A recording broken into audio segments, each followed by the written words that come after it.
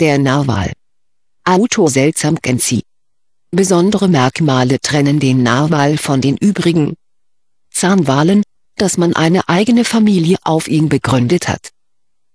Das Gebiss unterscheidet sich von dem aller übrigen Wale durch zwei mächtige, zwei bis drei Meter lange, verhältnismäßig aber schwache, von rechts nach links gewundene, innenhohle, waagerecht im Oberkiefer stehende Stoßzähne, von denen in der Regel einer, und zwar der rechtsseitige, verkümmert, und welche beim Weibchen nur ausnahmsweise zu einer beschränkten Entwicklung gelangen, kennzeichnet sich auch außerdem durch zwei kleine Vorderzähne und einen Backenzahn im Oberkiefer, welche jedoch nur bei jungen Tieren regelmäßig gefunden werden.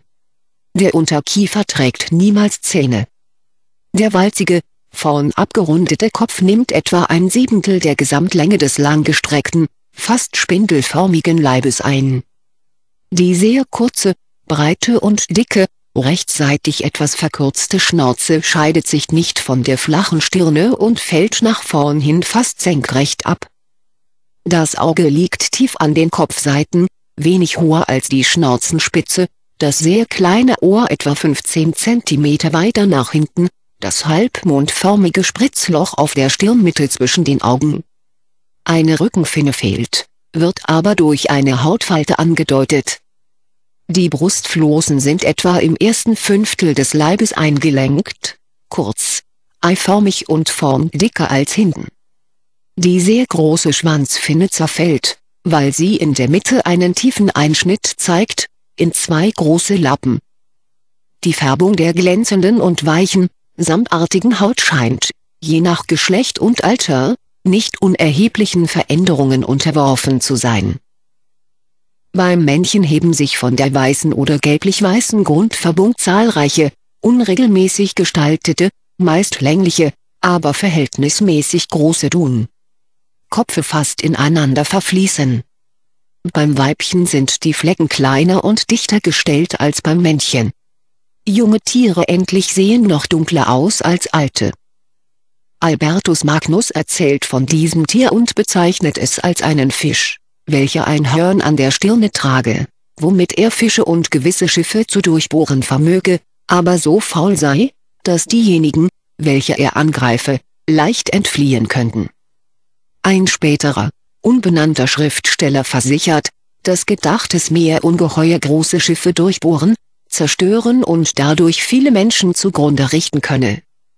Doch habe die Liebe des Schöpfers dieses Scheusal so langsam erschaffen, dass die Schiffer, wenn sie es sehen, Zeit hätten zu entfliehen. Rochefort gibt die erste gute Abbildung und zuerst die Erzählung, laut welcher unser Wal sein Hörn zum Kampfe gegen andere Walfische gebrauchen, damit aber auch das Eis zertrümmern soll, weshalb man viele mit abgebrochenen Zähnen finde. Erst Fabricius bezweifelt, dass der Narwal Schollen und andere Fische, welche seine Nahrung bilden, mit dem Zahn ansteche und denselben dann in die Höhe richte, bis seine Beute allmählich gegen das Maul rutsche, so dass er sie endlich mit der Zunge einziehen könne.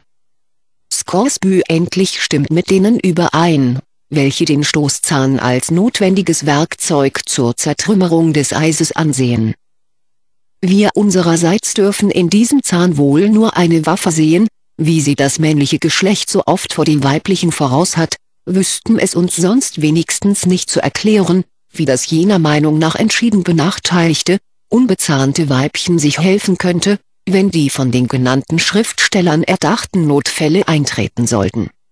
Lienbreite getroffen. In der Dejuvesstraße, in der Baffins Bay, in der Prinzregenten-Einfahrt, im Eismeere zwischen Grönland und Island, um Novaya Zemlja und weiter in den nordsibirischen Meeren ist er häufig. Südlich des Polarkreises kommt er selten vor, an den Küsten Großbritanniens strandeten, so viel mir bekannt, in den letzten Jahrhunderten nur vier Narwale. An den deutschen Küsten wurden nur im Jahre 1736, aber zweimal, solche beobachtet und erlegt. In seiner Heimat begegnet man ihm fast ausnahmslos in zahlreichen Herden. Denn er steht an Geselligkeit hinter keinem einzigen seiner Verwandten zurück.